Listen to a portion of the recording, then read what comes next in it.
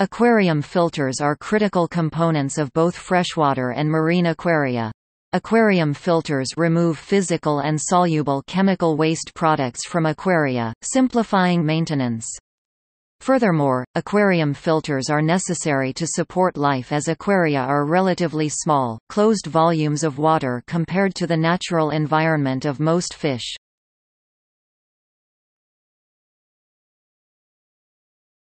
Topic. Overview Animals, typically fish, kept in fish tanks produce waste from excrement and respiration. Another source of waste is uneaten food or plants and fish which have died. These waste products collect in the tanks and contaminate the water. As the degree of contamination rises, the risk to the health of the aquaria increases and removal of the contamination becomes critical. Filtration is a common method used for maintenance of healthy aquaria. Topic: Biological filtration and the nitrogen cycle. Proper management of the nitrogen cycle is a vital element of a successful aquarium. Excreta and other decomposing organic matter produce ammonia which is highly toxic to fish. Bacterial processes oxidize this ammonia into the slightly less toxic nitrites, and these are in turn oxidized to form the much less toxic nitrates. In the natural environment these nitrates are subsequently taken up by plants as fertilizer and this does indeed happen to some extent in an aquarium planted with real plants. An aquarium is, however, an imperfect microcosm of the natural world. Aquariums are usually much more densely stocked with fish than the natural environment. This increases the amount of ammonia produced in the relatively small volume of the aquarium. The bacteria responsible for breaking down the ammonia colonize the surface of any objects inside the aquarium.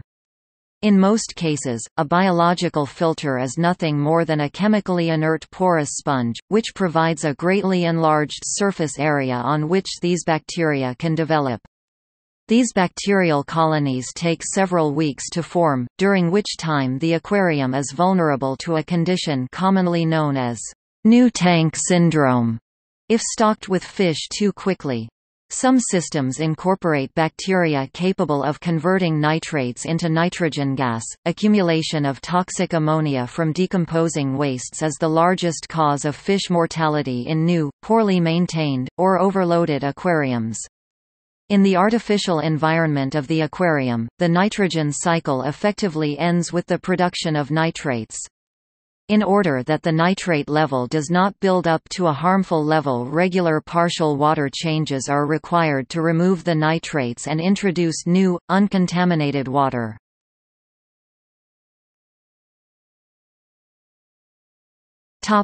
Mechanical and chemical filtration The process of mechanical filtration removes particulate material from the water column. This particulate matter may include uneaten food, feces or plant or algal debris. Mechanical filtration is typically achieved by passing water through materials which act as a sieve, physically trapping the particulate matter. Removal of solid waste can be as simple as physical hand netting of debris, and or involve highly complex equipment. All removal of solid wastes involve filtering water through some form of mesh in a process known as mechanical filtration. The solid wastes are first collected, and then must be physically removed from the aquarium system. Mechanical filtration is ultimately ineffective if the solid wastes are not removed from the filter, and are allowed to decay and dissolve in the water. Dissolved wastes are more difficult to remove from the water. Several techniques, collectively known as chemical filtration, are used for the removal of dissolved wastes, the most popular being the use of activated carbon and foam fractionation. To a certain extent, healthy plants extract dissolved chemical wastes from water when they grow, so plants can serve a role in the containment of dissolved wastes. A final and less common situation requiring filtration involves the desire to sterilize waterborne pathogens. This sterilization is accomplished by passing aquarium water through filtration devices which expose the water to high-intensity ultraviolet light and or exposing the water to dissolved ozone gas.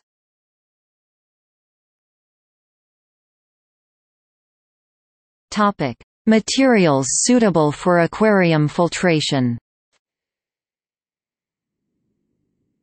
Numerous materials are suitable as aquarium filtration media. These include synthetic wools, known in the aquarium hobby as filter wool, made of polyethylene terephthalate or nylon.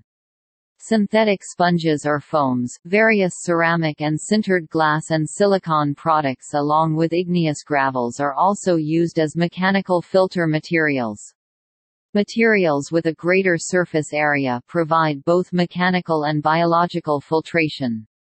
Some filter materials, such as plastic bioballs, are best used for biological filtration.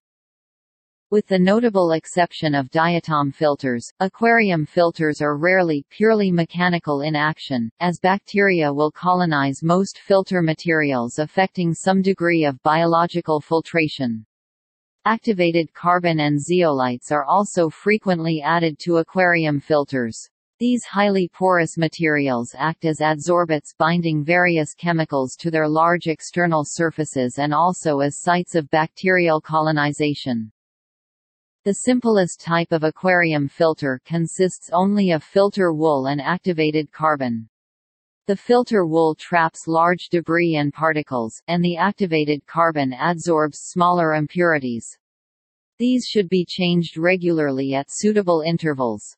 This is particularly important in the case of activated carbon filters, which may re-release their adsorbed contents in large and therefore harmful doses if they are allowed to saturate. Activated carbon adsorbs toxins on the extended porous surface of the carbon. It cannot be reactivated by boiling in water.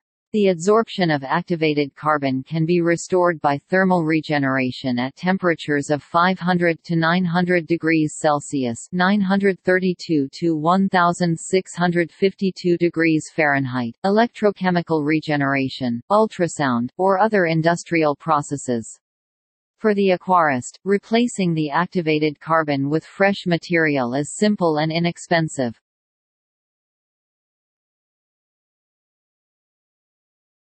Topic: Types of aquarium filters.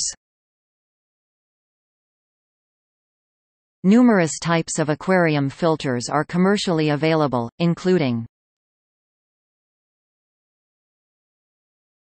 Topic: Power filters. Power or hob hang-on back filters, which are impeller-powered, remove water from the aquarium, usually with a long siphoning tube, which is then pushed or pulled through a series of different filter media and returned to the aquarium. These are the most common type of aquarium filter. They are usually more effective and easier to maintain than internal filters. Advantages of this type of filter are that they allow for a selection of different types of filter media depending on the tank needs, and that they are easy to clean without disturbing the inhabitants of the tank because they sit on the outside of the fish tank. Disadvantages of power filters include their smaller capacity for filter media compared to canister filters, and that they tend to be very noisy, usually resulting from vibrations. Topic: Canister filters.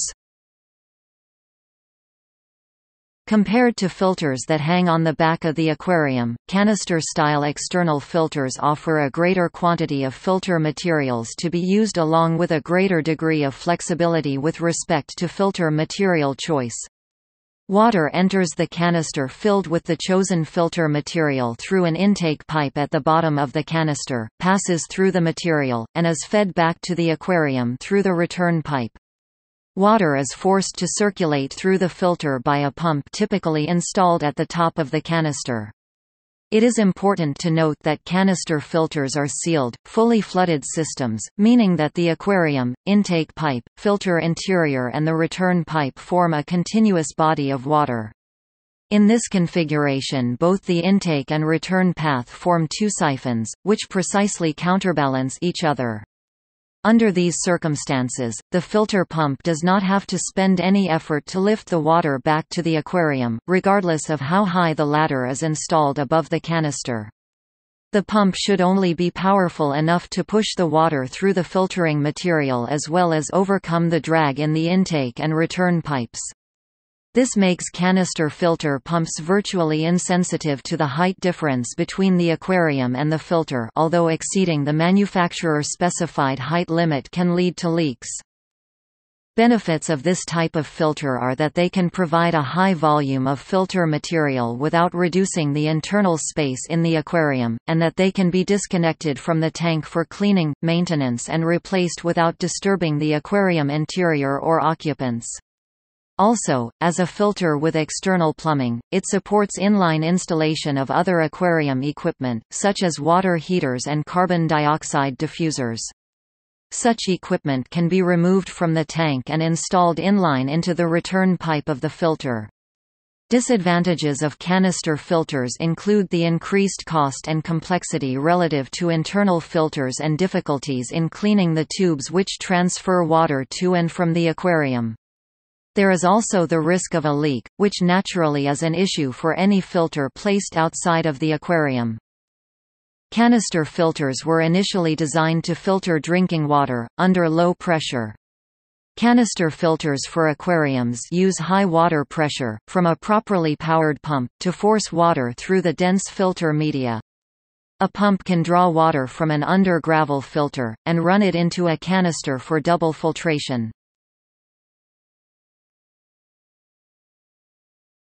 Topic: Diatom filters. Diatom filters are used only for sporadic cleaning of tanks, they are not continuously operated on aquariums. These filters utilize diatomaceous earth to create an extremely fine filter down to 1 micrometer which removes particulate matter from the water column.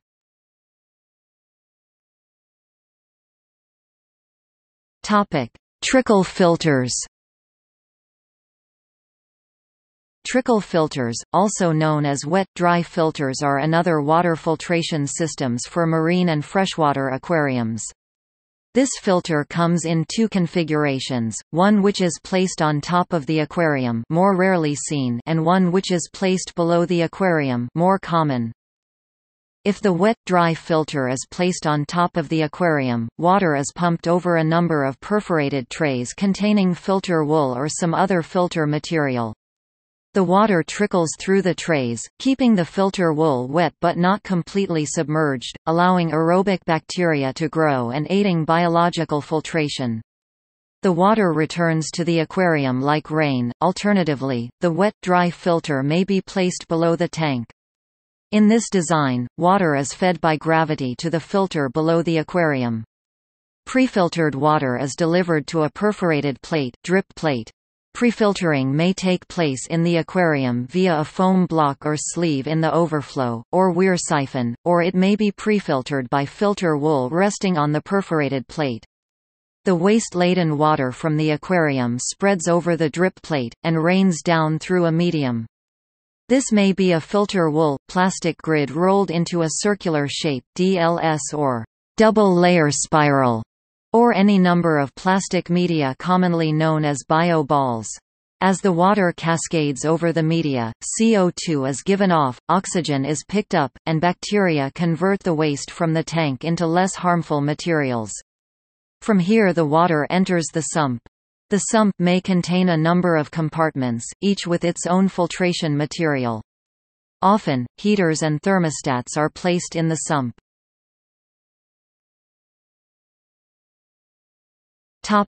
Algae filters Algae may be grown purposely, which removes chemicals from the water which need to be removed in order to have healthy fish, invertebrates and corals.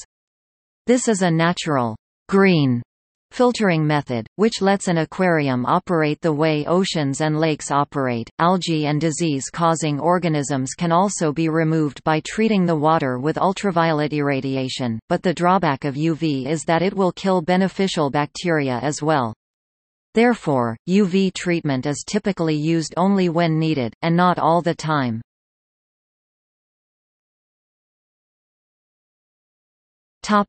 Baffle filters Baffle filters are similar to wet and dry, trickle filters in that they are generally situated below the aquarium. This type of filter consists of a series of baffles that the water must pass through in order to reach the pump which is returning water to the aquarium. These baffles then act much like a series of canister filters and can be filled with different filter media for different purposes.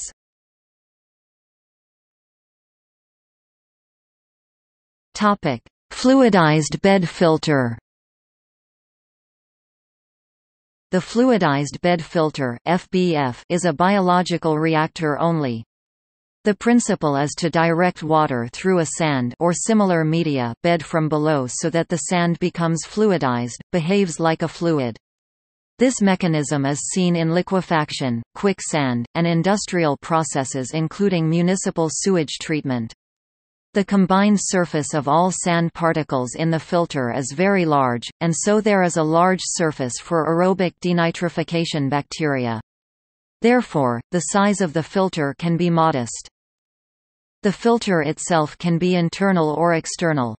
In its simplest DIY internal version an FBF is very easy to build, with a container, sand, pump, and some plumbing. There are many variables, shape and size of the container, quantity of sand or equivalent, particle sizes, the pump's power, and plumbing.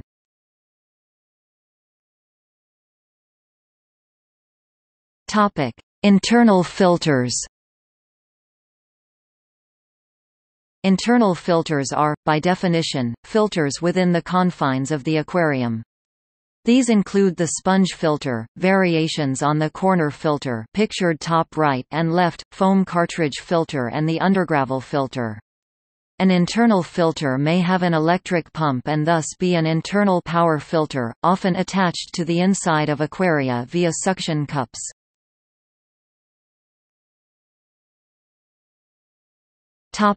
Airlift filters Sponge filters and corner filters sometimes called box filters work by essentially the same mechanism as an internal filter. Both generally work by airlift, using bubbles from an air pump rising in a tube to create flow. In a sponge filter, the inlet may only be covered by a simple open cell block of foam. A corner filter is slightly more complex. These filters are often placed in the corner on the bottom of the aquarium. Water enters slits in the box, passes through a layer of medium, then exits through the airlift tube to return to the aquarium. These filters tend to only be suitable for small and lightly stocked aquaria. The sponge filter is especially useful for rearing fry where the sponge prevents the small fish from entering the filter.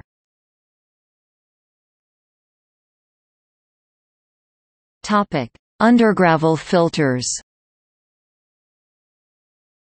One of the oldest types of filters, the undergravel filters consist of a porous plate which is placed beneath the gravel on the base of the aquarium and one, or more, uplift tubes.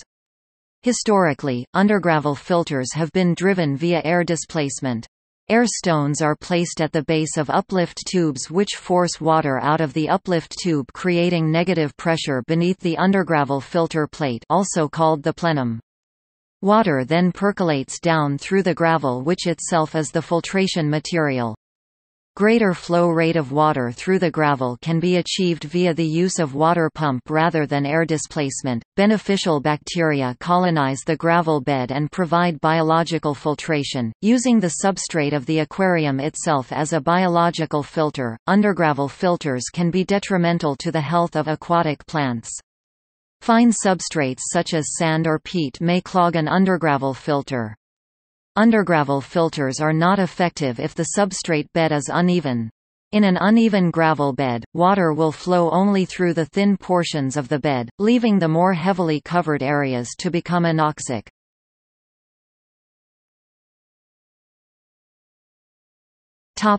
Marine-specific systems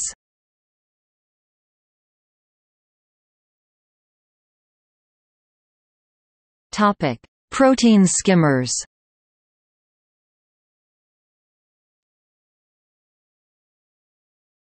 Topic: Deep sand beds.